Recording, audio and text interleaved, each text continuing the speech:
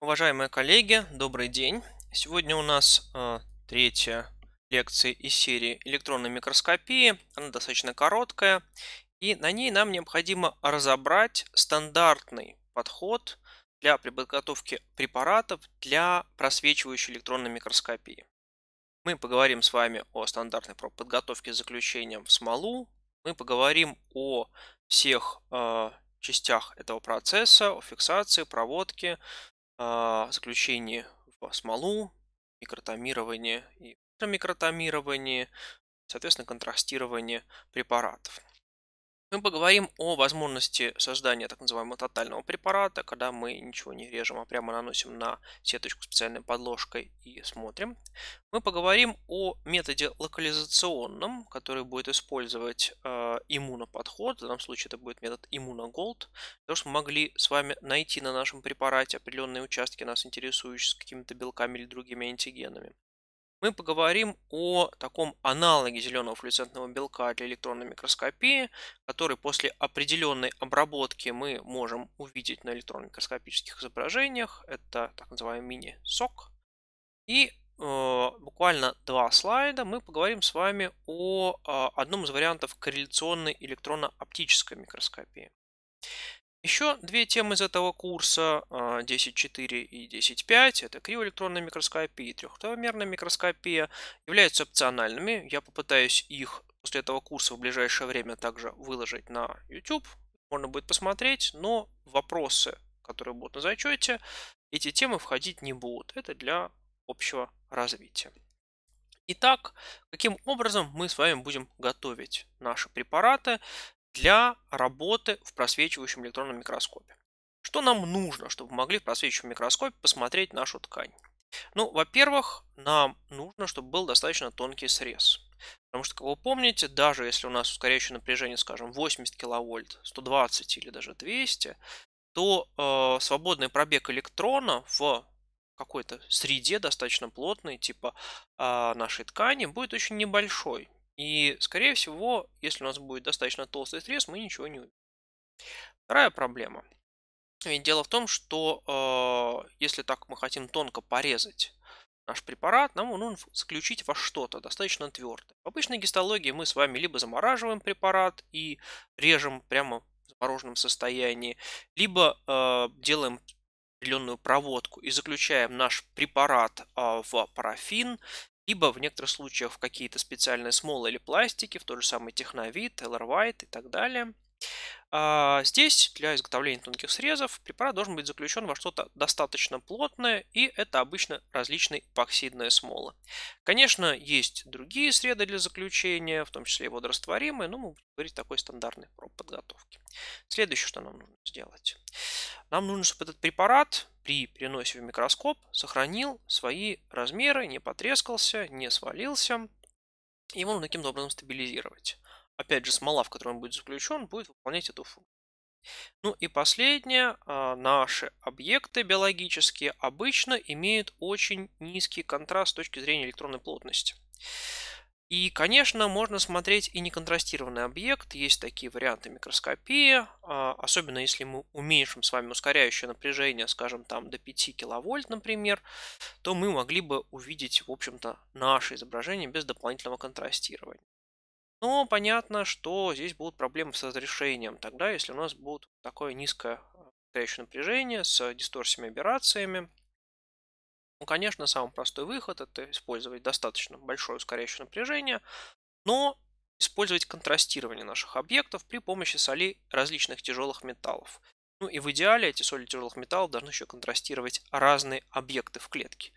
Например, что нас может интересовать? Мембраны, виды. Нас могут интересовать нуклеиновые кислоты, и нас могут интересовать белки. Если мы сможем отконтрастировать эти три компонента клетки, в принципе, мы получим достаточно неплохое представление об общей морфологии. Так, стандартная проб-подготовка. Конечно, я не смогу рассказать во всех деталях, и в каждой лаборатории будут отступления от этого стандартного протокола, какие-то а, свои решения, упрощения или, наоборот, усложнения метода. Но первый этап всегда одинаковый, нам нужно выделить наши клетки. После этого мы их с вами фиксируем, причем фиксация в электронной микроскопии чаще всего происходит в два этапа.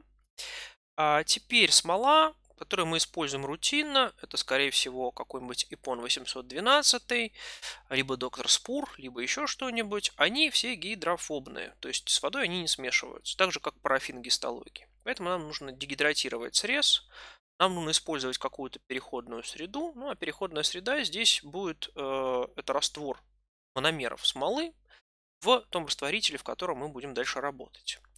Дальше нам нужна пропитка. Мы пропитаем наш препарат смолой. А, так как эти мономеры способны к полимеризации, нам нужно каким-то образом эту полимеризацию начать. Есть несколько подходов. Есть вещества, которые генерируют свободные радикалы сами по себе. Есть вещества, которые генерируют при повышении температуры. В эту смолу у нас будет добавлено вещество, которое будет генерировать свободные радикалы при повышении температуры. И будет происходить полимеризация этой смолы, то есть она станет твердой. Дальше у нас будет процесс микротомирования. Мы с вами изготовим вначале тонкие, полутонкие срезы, сориентируемся, потом сделаем какой-то кусочек, который нас интересует для ультратонких срезов, поместим их на сеточку. И эти срезы нам необходимо будет доконтрастировать, то есть обработать как раз солями вот этих тяжелых металлов. Это будет ацетат урана, это будет цитрат свинца по Райнелсу, скорее всего. Ну и дальше так мы клеточку, после как мы сеточку так обработали, высушили, мы можем перейти непосредственно к самому микроскопированию уже нашего объекта. Понятно, что все части протокола достаточно простые, но э, на некоторых из них нужно чуть-чуть подробнее остановиться. Во-первых, выделение клеток. Какие клетки можем брать или какие на самом деле образцы мы можем брать для электронной микроскопии. А, с кусками ткани все понятно. После фиксации она становится уже достаточно а, твердой, и мы можем ее нарезать на маленькие участки для лучшей фиксации и для дальнейшей проводки. Но вам важно здесь эти наши кусочки ткани не помять и сделать так, чтобы разрез был максимально э, щадящим, что ли, чтобы края препарата при этом не пострадали.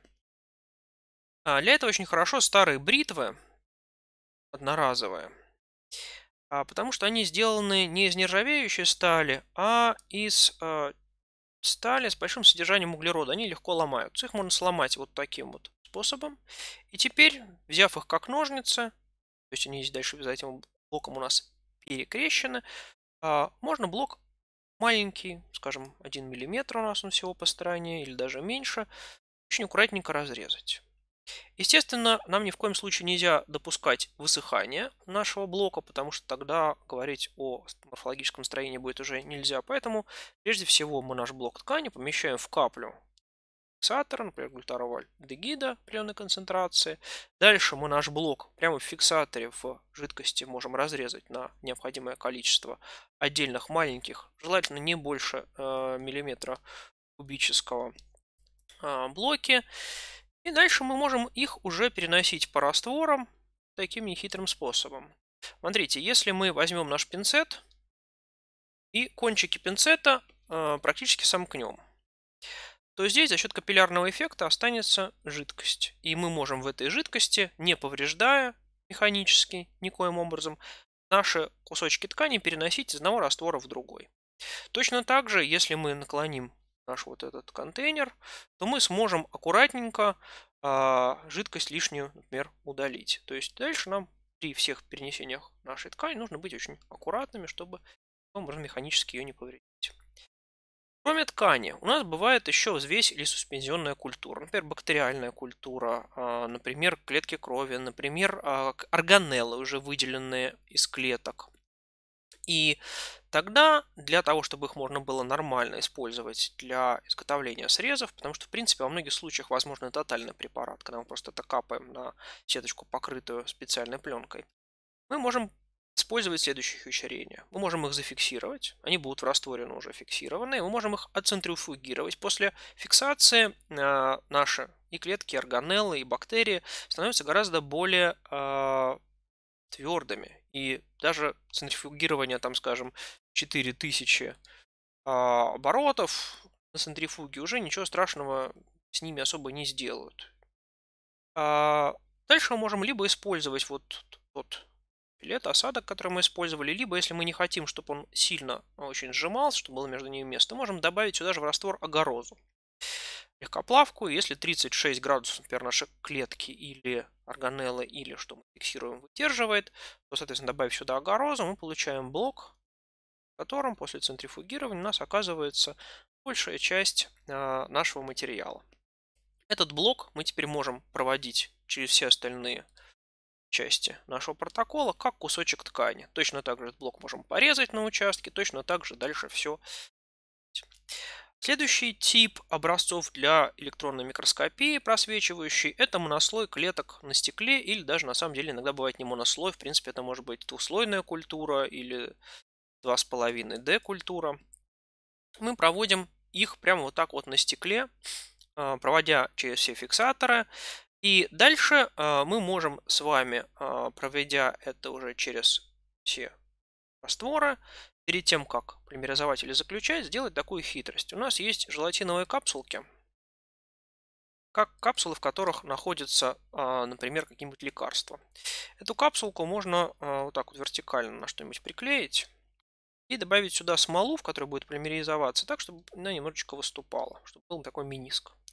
И стекло теперь перевернув, с клетками, которые зафиксированы, которые проведены, которые пропитаны, положить сверху на такую капсулу.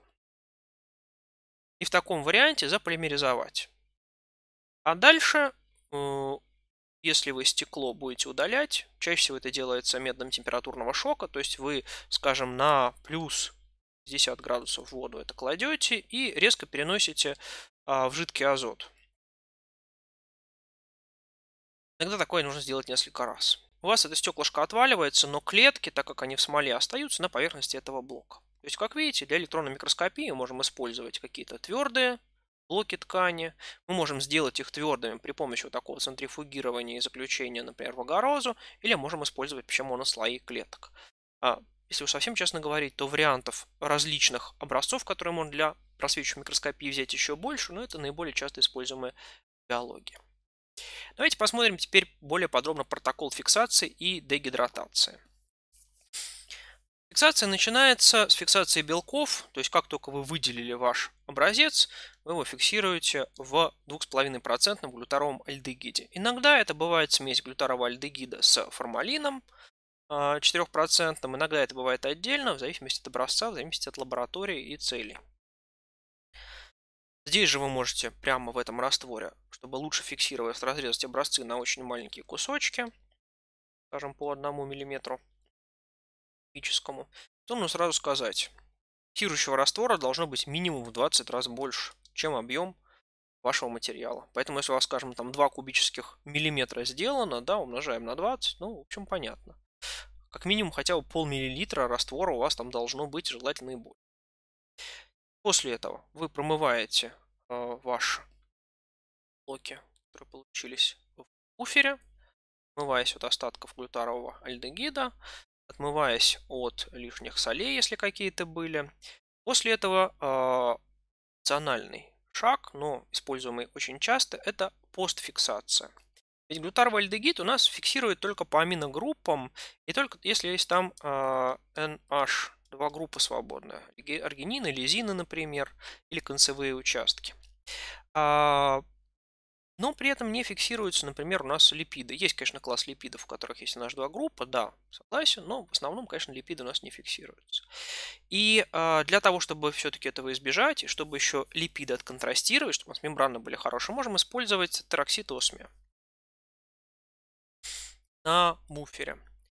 А, понятно, что тероксид осмия весьма ядовитое вещество, но если у вас есть ненасыщенные какие-то липиды, то он их ковалентно сошьет друг с другом. И понятно, что если у вас липид теперь такая большая молекула, макромолекула уже, то растворяться в различных органических растворителях она просто не будет, она слишком большая для того, чтобы раствориться. И таким образом вы зафиксировали в первой части белки, во второй части липиды. Ну а вторым плюсом осми является то, что он электронно плотный. И мембраны после такого осмирования у вас очень хорошо видны. В некоторых случаях есть способы усиления вот такого вот контрастирования осмием. Это вам понадобится через э, лекцию, когда мы будем говорить о так называемой трехмерной электронной микроскопии и возможности обработки прямо в блоке э, ткани для получения хорошего контраста. Обычно для просвечивающей электронной микроскопии достаточно где-то полтора-два часа при плюс 4 градусах где-нибудь в 1-2% растворе осмия. Теперь у нас есть зафиксированный образец, в котором зафиксированы и липиды, и белки, но он у нас находится сейчас в э, гидрофильной среде, а смола у нас гидрофобная. Поэтому нам нужно избавиться от воды, то есть дегидратировать образец. Как всегда в гистологии мы не сразу бросаем наш образец в 100% этанол, а используем батарею а, для того, чтобы аккуратно произошло, во-первых, замещение а, воды на спирт, а во-вторых, здесь у нас есть буфер. И теперь представьте, если вы а, такой концентрации буфера положите сразу же в хороший спирт. У вас все соли, которые были в буфере, выпадут в осадок прямо на вашей ткани. Соответственно, повредят как минимум ее структуру, как максимум вы еще и ножик попортите. Поэтому, конечно же, начинать нужно с 50% этанола, у вас блоки маленькие, поэтому диффузия происходит быстро, и по 10 минут вы идете до 95% этанола. Как вы помните, этанол очень быстро нахватывает воду из э, окружающей воздуха. Если мы хотим, чтобы он у нас был безводный, э, нам нужно использовать молекулярное сито. Это такие шарики из глины сделанные, в которые вода задерживается, так она очень маленькая, а спирт, так как молекула побольше, туда проникнуть не может. И, соответственно, стопроцентный этанол готовится с использованием вот таких вот молекулярных сит. А, тоже важное замечание, молекулярные ситы – это, в общем-то, кремний. И, конечно же, нужно, чтобы такой спирт очень долго отстоялся, чтобы случайно твердые частицы не попали в ваш препарат, и вы не испортили свой стеклянный или, не дай бог, алмазный ножик. Значит, теперь в таком стопроцентном этаноле вы держите уже подольше, скажем, по 20 где-то минут две смены, чтобы полностью избавиться от воды. Современные смолы после эпона, конечно, уже менее чувствительны к оставшейся воде, и, в принципе, после этанола уже можно дальнейшую проводку делать. Если вы пользуетесь старыми смолами, тем же самым 812 эпоном, то в зависимости от лаборатории а, у вас будут использовать еще для пропитки либо безводный ацетон, и вам нужно будет перевести через спирта в ацетон ваши образцы, либо оксид пропилена. А, по моему опыту, хотя оксид пропилена сильно более ядовитый, с ним получается лучше, но, опять же, это зависит от лаборатории. Примерный протокол. 10 минут по 3 раза вы промываетесь в вашем переходном, переходной среде. Дальше у вас э, три раствора. Первый – это смола с вашей переходной средой в соотношении 2 к 1. Потом смола в соотношении 1 к 1. Потом смола в соотношении 1 к 2 и потом чистая смола. А, в зависимости от ткани разное время, но среднее а, в первой 30 минут и по 60 минут в других двух средах. Как смолу готовить? Для каждой смолы будет свой рецепт, но я рассматриваю вариант а, средней твердости обычного Эпона 812. Когда вы покупаете в виде набора, он у вас приходит в виде трех баночек, трех веществ, и для приготовления смолы а, их нужно смешать. После того, как смешали, может начинаться уже э, эффекты поляризации, полимеризации, поэтому долго такая смола, конечно, смешанная не всегда хранится, особенно после добавления последнего а, компонента. Но если вы хотите приготовить такую смолу, вы смешиваете вот эти три компонента, перемешиваете ее. Только перемешивать нужно аккуратно, она достаточно вязкая, чтобы там не образовывалось пузырьков воздуха. Поэтому перемешиваете это, добавляете потом каким-нибудь маленьким, а, например, подкожным шприцом оставшиеся 2 грамма вот этого вещества, потому что иначе отдозировать будет сложно, и еще раз перемешиваете. После этого, в принципе, ваша смола готова, при нагревании она начнет уже полимеризоваться. И вот этой смолой вы пропитываете в этих этапах образец, а дальше кладете ваш образец на достаточно уже продолжительное время, в зависимости от ткани, Чаще всего на 12 часов через ночь это лучше оставить. Ваш образец пропитывается э, После этого вы можете ваш образец перенести в специальные формочки для заливки и полимеризации. Они приготовлены э, обычно из либо пластика, э, либо тефлона, либо других материалов, э, которые, которым не приклеивается застывающая смола. И в них же образец можно сориентировать. Опционально можно один день выдержать при 35 градусах, но, честно говоря, я разницы особой не увидел. А, если выдерживаете этот день. Поэтому э, можно сразу начать с 45 градусов первый день, потом 60 градусов второй день. И после этого обычно, если все прошло хорошо, ваш блок уже хорошо затвердел, и его можно использовать в дальнейшем для э, микротомии ультратомии. Предположим, мы получили с вами блок и заливали мы его, например, в капсулу было удобно, заливаете в капсулу, капсулкой закрываете, у вас она полимеризуется, вы ориентируете где-то вот на дне капсулы. И здесь у вас ваша смола. Теперь вы ваш этот блок можете взять держатель, и вам необходимо его, то, что называется, заточить или сформировать пирамидку. Прежде всего формируете поверхность, которую вы будете дальше резать. То есть вы доходите до вашего образца, Дальше вы берете обычную одноразовую бритву.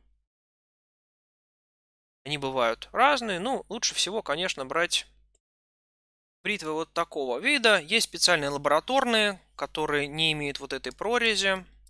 И от них уже только, например, половинка бритвы остается, причем ее удобно держать.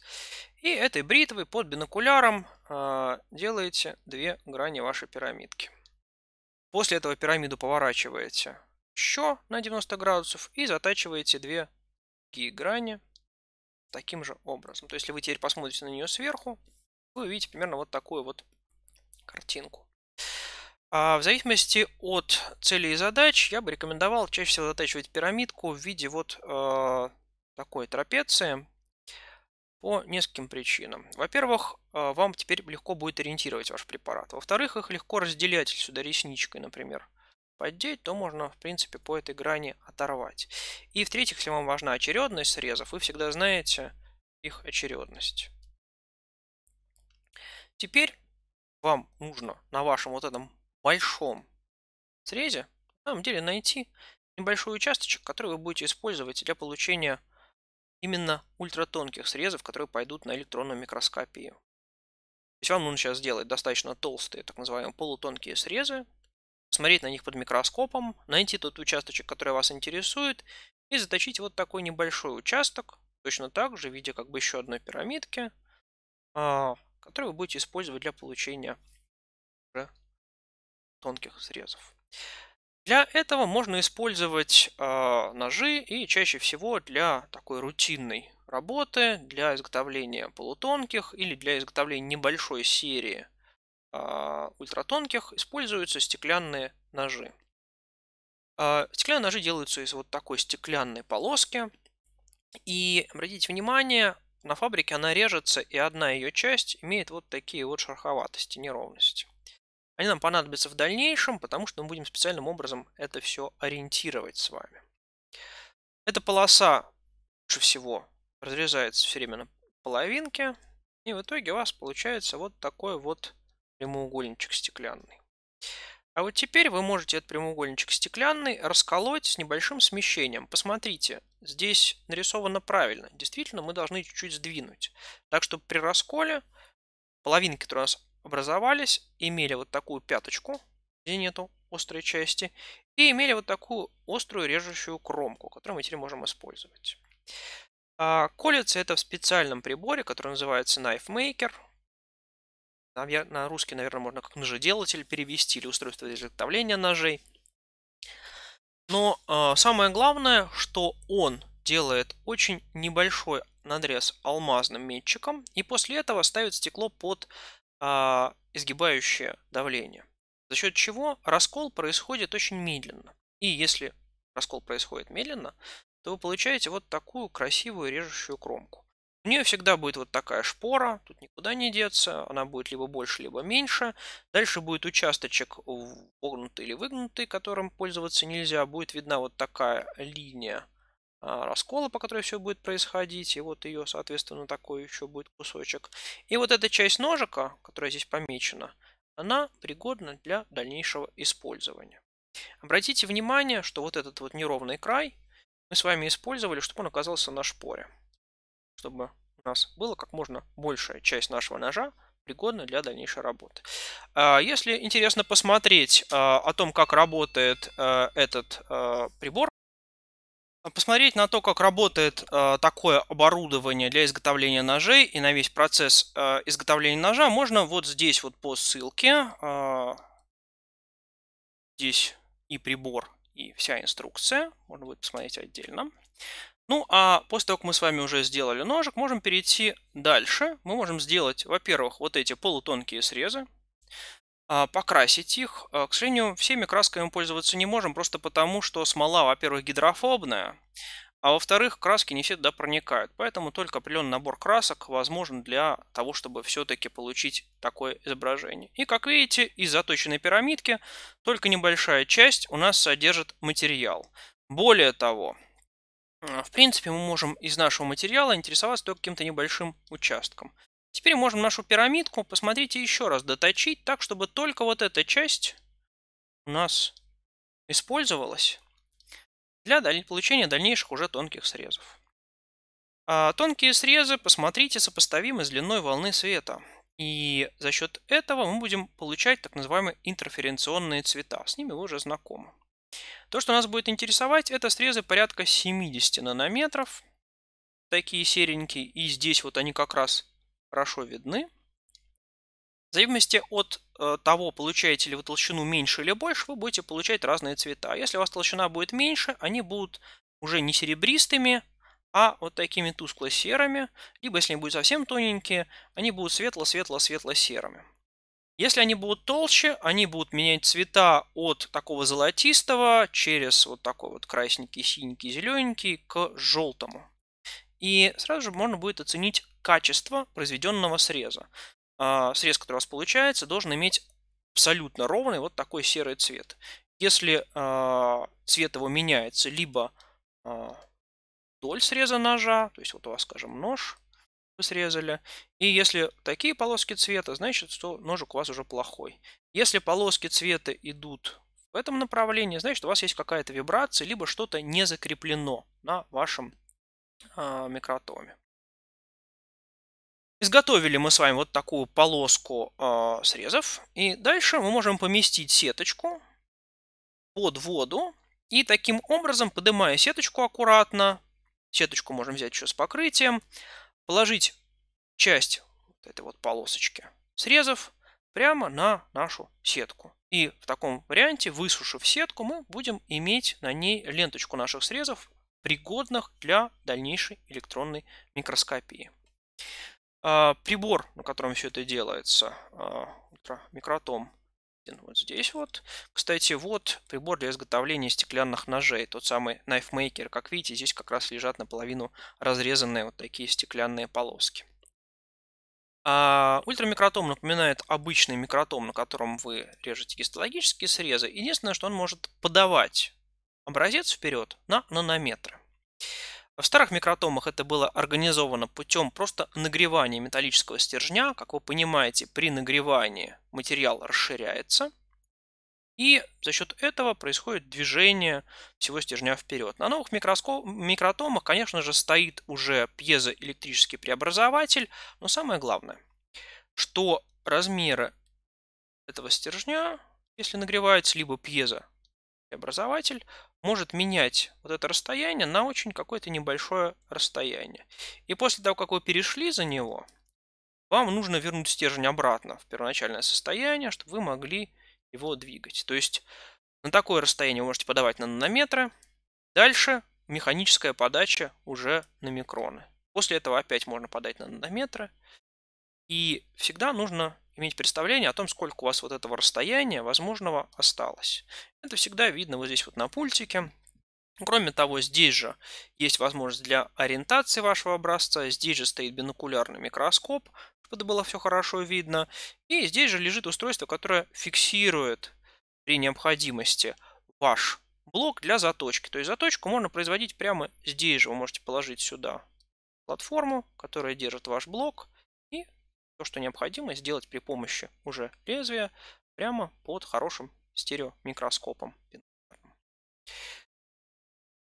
Изготовили мы с вами срезы, они у нас находятся на сеточке, но пока у нас из э, контраста, там только контраст мембран. Мы с вами осми применяли. А нам бы хотелось, конечно, получить еще более-менее приличный контраст от нуклеиновых кислот, ядро хотя бы увидеть а, внутри гетерохроматин и, конечно же, белков, потому что, ну, в принципе, это то, что нас интересует. Для этого мы можем использовать а, вариант контрастирования тяжелыми металлами. И первый тяжелый металл, который мы будем использовать, это ацетат урана. Это объединенный уран, поэтому бояться э, его радиоактивности особо и не нужно. Это 11 килобекелей всего. Но а, дело в том, что как тяжелый металл, он просто очень ядовит. Поэтому э, очень большая просьба, если будете с ним работать, работать очень аккуратно. Более того, он бета-эмиттер, то есть испускает только электроны, и пока он снаружи нас, ничего страшного. Вот если он попадет внутрь, конечно, ничего хорошего не будет. Поэтому работа с этим материалом должна быть очень и очень аккуратно проведена, желательно на отдельном столе, желательно вытяжки. И поэтому в некоторых случаях используются вот такие вот машинки, чтобы делать не вручную, но имеет смысл их использовать только если, только если вы контрастируете там 20-30 сеток, например. Значит, поместили водный раствор ацетата урана от 2 до 5% на 10 минут. Этот раствор очень не любит э, света и высокой температуры. Поэтому желательно, чтобы большого количества света в банке, где этот раствор хранится, у вас не было.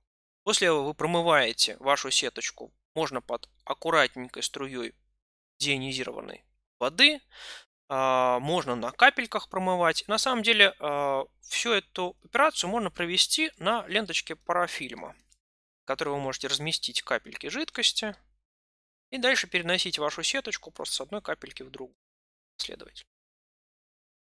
А, ацетат урана он очень хорошо красит нуклеиновые кислоты. Если помните, это такая качественная реакция. Цитат урана с фосфором выпадает нерастворимый осадок, с натрием еще.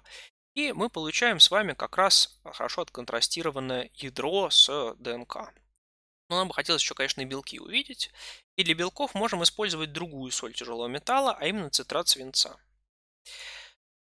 Цитрат свинца есть, правда, одна небольшая неприятность. Он очень любит становиться нерастворимой, если он соединяется с углекислым газом, растворенным в воде.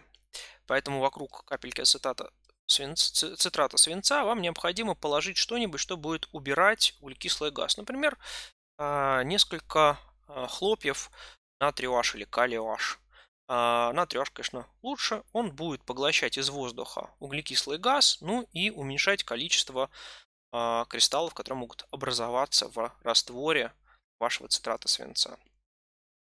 Несли сеточку сюда, здесь порядка 10 минут ее подержали. Естественно, сетку ориентируйте так, чтобы она была срезом После этого промывка в воде, два раза по 5 минут. Высушили вашу сетку, и она пригодна для работы в просвечивающем электронном микроскопе. Вы можете теперь ее микроскопировать, то, что я буду показывать на нашем онлайн-практическом занятии. Следующий тип препаратов. Ведь в некоторых случаях э, нам нет необходимости делать срезов. Мы можем работать э, с, например, э, вирусными частицами, можем работать с какими-то макромолекулярными комплексами, Тогда можем делать то, что называется тотальным препаратом и применять методы как позитивного окрашивания, тоже контрастирование, которое мы рассмотрели, так и новый для нас метод – это метод негативного окрашивания. Предположим, что у нас есть, а, например, какие-то бактериофаги, а, мы можем их добавить на сеточку с подложкой. Подложка делается из раствора пластика, если кто-то будет работать с электронной микроскопией, вам обязательно покажут, как это делается. Нанесли препарат, высушили, теперь имеем на его поверхности частицы нашего бактериофага. После этого можем добавить какую-то соль тяжелого металла в очень небольшом количестве. То же самое ацетат урана, либо можно фосфорную вольфрамовую кислоту, либо есть еще другие варианты. И теперь, брав излишек жидкости, даем ей высохнуть. При этом понятно, что соль должна кристаллизоваться. Но так ее очень мало и очень тоненький слой на самом деле вот этой жидкости, то кристаллы будут образовываться маленькие, и за счет этого мы с вами увидим теперь наш образец. Вот посмотрите, картинка типичная, э, такого негативного контрастирования. Вокруг наших объектов, как видите, фон более темный. жидкость высыхая, за счет капиллярного эффекта будет сюда стремиться и переносить сюда, соответственно, все новый, новый, новый ацетат урана или фосфор-вольфрамовую кислоту, которая при высыхании здесь будет давать микро такие кристальчики. И поэтому наш объект, который не дает сюда проникнуть этому контрастеру, будет на его фоне смотреться светлым. Однако понятно, что есть некоторая сложность. Ну, во-первых, объект при высыхании может деформироваться. Как видите, некоторые бактериофаги здесь вот так вот как бы поломаны. Во-вторых, многие биологические объекты э, в гидратированном состоянии выглядят немножечко по-другому, чем в высушенном. И вот эта оболочка воды необходима для того, чтобы это состояние поддерживать. Более подробно э, про то, как это можно избежать, будет в следующей лекции, где мы будем говорить про кривоэлектронную микроскопию.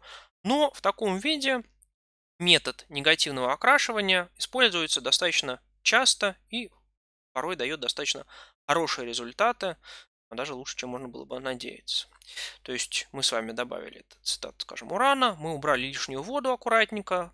Как убирать? Э, мы берем пинцет, которым держим нашу э, сеточку. И сюда же прямо к пинцету подводим фильтровальную бумажку. Можно даже вот в это вот место, где мы пинцет держим. Фильтровальная бумажка забирает излишек воды, той, того, той жидкости с контрастером, который остается на сеточке, вполне достаточно, чтобы получить негативный контраст. Убираете жидкость, высушиваете, идете на микроскоп, смотреть получившееся изображение. Но ну, не всегда нам достаточно посмотреть на общую структуру. Иногда нам бы хотелось посмотреть на локализацию каких-то определенных белков. И у нас здесь есть два подхода. Мы можем использовать либо иммуномечение, единственное, вместо метки флуоресцентной теперь использовать кристаллики золота. И можем использовать некий подход, похожий на зеленый флуоресцентный белок. Когда у нас будет трансгенная клеточная линия, животное, растение, что хотите. И дальше, после определенной обработки, мы сможем увидеть, где был этот белок а, в электронной микроскопии. И начнем мы как раз вот с такого подхода. Э, это маленький белочек, пероксидаза на самом деле. Мини-сок расшифровывается как мини-генератор синглетного кислорода. Singlet Oxygen Generator. А чем этот белок хорош? Тем, что он обладает сразу двумя свойствами. Во-первых, он флюоресцирует. И если мы его будем использовать с фильтром для GFP, мы можем его увидеть вот в таком виде. Ссылка на статью, откуда эта картинка заимствована внизу можем увидеть. Конечно, это разрешение оптическое, тут ничего не скажешь, но опять же мы можем увидеть митохондрии, мы можем увидеть гетерохроматин, мы можем увидеть э, актин, ну опять же гетерохроматин за счет э, гистонов H2B. Э, а, теперь, так как это пероксидаза, причем эта пероксидаза очень интересна, она активируется светом, она начинает работать как пероксидаза, только когда мы ее освещаем с вами синим светом. Если мы эти клетки чуть-чуть подфиксируем, к фиксации она относится не очень плохо, либо даже в живом состоянии, поместим в какой-нибудь раствор, где есть что-то, что при окислении становится нерастворимым. Например, диаминобензидин. Вот такая вот молекула. И а, если мы теперь в раствор будем подавать кислород, будем подавать свет, то в тех местах, где у нас есть вот этот мини-сок, у нас будет диаминобензидин выпадать в осадок. То, что мы называем фотоконверсией. Помните, у нас есть плохие флорохромы, в данном случае плохой флорохром, который, генерируя свободные радикалы, позволяет нам таким образом осадить какое-то вещество. А осмив, э, извините, диамин-бензидин формирует полимер, который очень хорошо окрашивается осмием. То есть, если мы теперь будем с вами делать постфиксацию наших клеток осмием, то кроме липидов, здесь мембрана хорошо видна, например, мы увидим еще и те места, где у нас отложился диаминобензидин. Как видите, картинка в оптическом диапазоне, вот этот участок, который здесь смотрели, вот этот участок в электронно-микроскопическом диапазоне, вот этот участок под большим увеличением. То есть у нас получился такой репортер, который можем использовать как генетическую конструкцию, кодирующуюся одним всего лишь геном, 109 аминокислот маленький, для того, чтобы увидеть локализацию его уже на электронно-микроскопическом уровне. Спектры э, возбуждения и спускания приведены здесь для интересующихся. Как видите, конечно, фильтр для GFP не очень подходит, но в принципе может использоваться. Если у вас есть фильтр для э, Aquablue или какого-то другого флорохрома, около 450 нанометров возбуждения, то это будет вообще идеально. Ну и последняя локализационная часть, которую можем использовать. А, у нас не всегда есть возможность изготовить трансгенное животное или клеточную линию, но нас могут интересовать, интересовать возможность определить положение какого-то белка или другого объекта, к которому можно выработать антитела. А, более того, нас может интересовать возможность получения нескольких меток. И для этого есть метод так называемый иммуноголд. Мы уже много раз его упоминали и говорили о том, что флуоресцентные метки у нас, конечно же, в электронной микроскопии, тем более просвечивающие, не видны.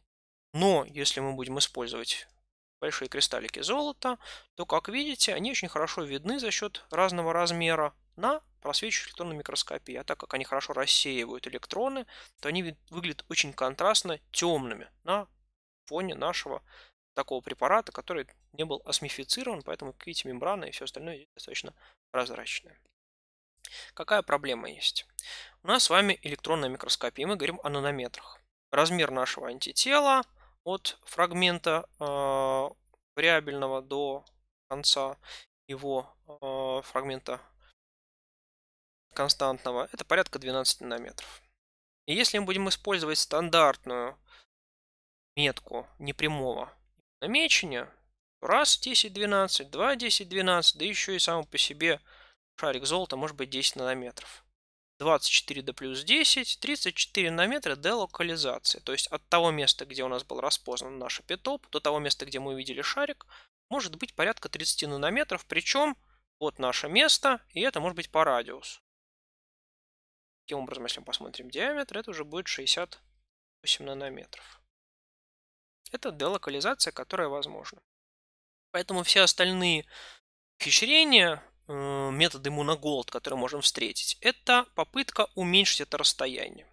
Либо использовать первично меченные антитела. Либо использовать даже от антитела только вот этот вариабельный фрагмент, меченный золотом. Либо использовать для поиска наших первичных антител не э, вторичные антитела, а бактериальные белки A или G, которые распознают эту часть нашего антитела. Ну и, соответственно, делокализация станет меньше. Плюс использовать э, сами по себе шарики золота меньшего диаметра, например, 5 нанометров. И этот подход, это такое дальнейшее развитие метода. Если будет интересно, может быть, о нем более подробно почитать. Но как пример я хотел показать, как выглядит э, препарат с метками трех размерных классов. Маленькие, средние небольшие. Как видите, как я уже говорил, три метки мы можем использовать, конечно, в нашей электронной микроскопии, но это как минимум не очень просто в интерпретации, и э, нам придется размеры эти в какой-то программе специально посчитать, для того, чтобы можно было уже их нанести на препарат. Здесь видно, что эти метки расположены только в определенных местах нашей клетки, то есть есть специфичность. И э, в этой статье смотрели, конечно же, субъединицы каналов, э, насколько они близко расположены, и смогли получить такой результат. Ссылка на статью вставляю в приложение. Последняя часть, то, что касается таких рутинных методов электронной просвечивающей микроскопии, это один из вариантов, их на самом деле очень много, корреляционной электронно-оптической микроскопии. А здесь основная мысль этого метода – это возможность посмотреть наши образцы вначале в оптическом диапазоне, например, при помощи флуоресцентного микроскопа, а затем использовать э, этот же образец в электронно-микроскопическом уже варианте с большим разрешением, с возможностью увидеть всю структуру. Как это делается? Подход один из многих. Это выращивание, например, ваших клеток на стекле, которое специальным образом размечено. Например, вы взяли стекло, положили на него сеточку с номерами, напылили на него углерод, и теперь, если вы посмотрите на ваше стекло, то в тех местах, где сеточка не была прикрыта, появятся вот такие небольшие дорожки из напыленного углерода, которые хорошо видны, вот здесь вот видно, в э, проходящем свете. Я обрисую тогда форму M. Дальше сеточка. Можно покупать дорогие расходные материалы уже готовые, но я бы рекомендовал а, купить себе несколько сеточек, которые называются Finder Grids, то есть сеточки для поиска, которые не просто размечены на клетке, а у какой-то клетки где-то есть буковки. А, Л, М, Н, далее. И теперь вы можете увидеть здесь а, вот эта буква М, здесь очевидно, различить, и вы знаете, что эта клетка находится на сеточке рядом с зоной, где была буква М. И вот от нее здесь же кусочек тоже остался, который мы можем тоже с вами увидеть.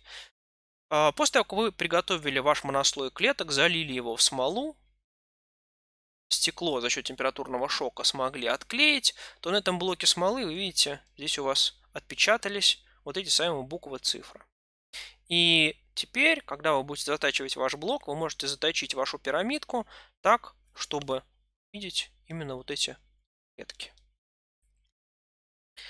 То есть заранее взять только участок, который вам нужен. И теперь, когда вы будете делать срезы, вам уже не нужно будет искать громадный холст вашего препарата, вы будете видеть, что вот эти именно клетки, которые вы начали резать, это именно то, что вам нужно.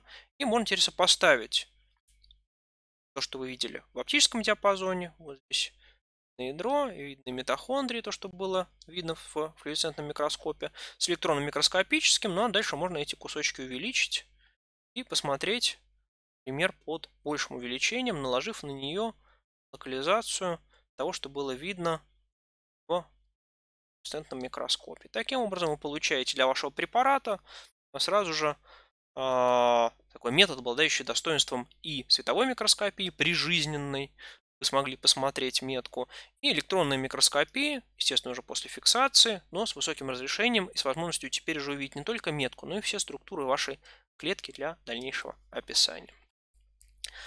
На этом наша сегодняшняя лекция по электронной микроскопии завершена. В ближайшее время я попробую подготовить, начитать и выложить еще две лекции. Одна из них будет по кривоэлектронной микроскопии, вторая из них будет по трехмерной микроскопии. А, эти лекции, напомню, являются необязательными для освоения по желанию. В а, зачете вопросов по ним не будет. Ну, а так, спасибо за внимание. До свидания. Удачи, до следующей лекции.